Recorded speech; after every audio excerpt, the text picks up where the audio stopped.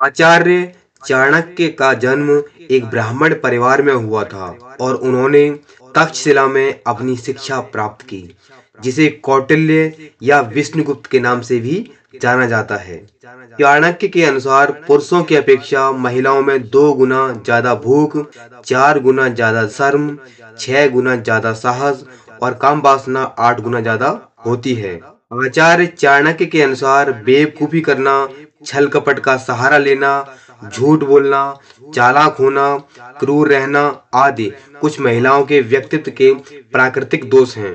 चाणक्य का कहना था कि शाही परिवार, नासमझ इंसान, सांप, आग और महिलाओं से हमेशा बच के रहना चाहिए।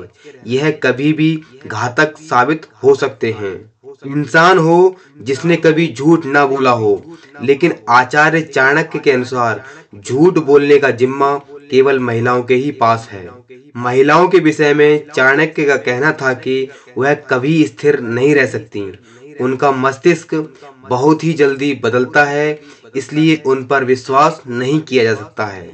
आचार्य चाणक्य का कहना था कि एक व्यक्ति को कभी नदी शाही परिवार सींग वाले जानवर हथियारों से लैस इंसान और महिलाओं पर कभी विश्वास नहीं करना चाहिए क्योंकि यह कभी भी धोखा दे सकते हैं। जीवन में कुछ सीखना हो तो उसके लिए भी आचार्य चाणक्य ने रास्ते बताए हैं। चाणक्य के अनुसार, अगर नम्रता सीखनी हो तो राजकुमारों से सीखनी चाहिए। वहीं संवाद की कला पंडितों से, झूठ बोलना जुआरियों से और धोखा देना महिलाओं से सीखना चाहिए। लेकिन आचार्य चाणक्य का कहना था कि वे महिलाएँ जो अपने पति की इच्छा के विरुद्ध जाकर व्रत रखती हैं तो इससे उनके पति की उम्र कम हो जाती है। इतना ही नहीं, वह स्वयं अपने हाथ से अपने लिए नरक का द्वार खोल देती हैं, और साथ ही वह अपने पति के लिए भी पतन का रास्ता तैयार करती हैं। आचार्य चाणक्य ने अपने कथनों द्वारा यह प्रमाणित किया था कि वह महिला को वस्तु से ज़्यादा और कुछ नहीं समझते थे। चाणक्य के अनुसार प्रत्येक व्यक्ति को अपने अच्छे समय के लिए धन और स्त्री को बचाकर रखना चाहिए और बुरे समय में सबसे पहले इनका त्याग कर देना चाहिए। संभव है कि उस समय की हालातों के अनुसार आचार्य चाणक्य के कथन सही कहे जा सकते हों। वैसे भी हमारे समाज में शुरुआत से ही महिलाओं को पुरुषों के अधीन रखा गया है।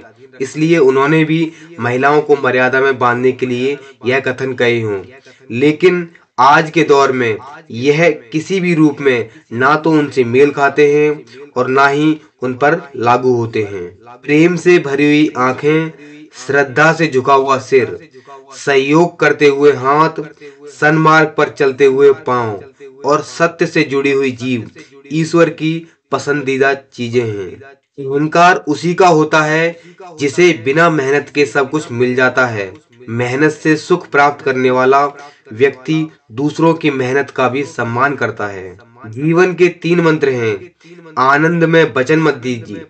क्रोध में उत्तर मत दीजिए। दुख में निर्णय मत लीजिए। बुद्धिमान वही है जो अपनी कमियों को किसी के सामने उजागर ना करे। घर की गुप्त बातें, धन का विनाश, दोस्तों द्वारा धोखा, दूसरों द्वारा अपमान करना, मन की चिंता, इनको अपने तक ही सीमित रखना चाहिए। दुष्ट व्यक्ति और कांटों से बचने के केवल दो ही उपाय हैं। जूतों से उन्हें कुचल डालना चाहिए या उनसे दूर रहना चाहिए।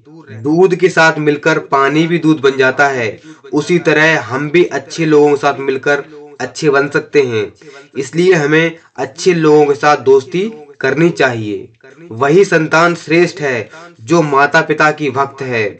वही माता पिता श्रेष्ठ हैं, जो संतान का पालन पोषण करते हैं। वही मित्र श्रेष्ठ है, जिस पर भरोसा किया जा सकता है। बीस वर्ष की आयु में व्यक्ति का जो चेहरा रहता है, वह प्रकृति की देन है। तीस वर्ष की आयु का चेहरा जीवन के उतार चढ़ाव की देन है। लेकिन पचास वर्ष की आयु का चेहरा व्यक्ति की अपनी कमाई की देन है। शरीर से सुंदर होने वाली महिला आपको केवल एक रात खुशी दे सकती है, लेकिन दिल से सुंदर होने वाली महिला आपको ज़िंदगी भर सुख देती है। इसलिए दिल से सुंदर होने वाली महिला के साथ विवाह करना ज़्यादा अच्छा होगा। एक राजा की ताकत उसकी शक्तिशाली भुजाओं में होती है। ब्राह्मण की ताकत उसके आध्यात्मिक ज्ञान में और एक औरत की ताकत उसकी खूबसूरती, यौवन और मधुर बाड़ी में होती है। दोस्तों, अगर आप और भी वीडियोस देखना चाहते हैं तो मेरे इस channel all course life time को सब्सक्राइब कर लें और वेल नोटिफिकेशन को भी ऑन कर लें। साथ ही मुझे आप इंस्टाग्राम फेसबुक और ट्विटर भी फॉलो कर सकते हैं। इनका लिंक आपको वीडियो के डिस्क्रिप्शन बॉक्स में मिल जाएगा।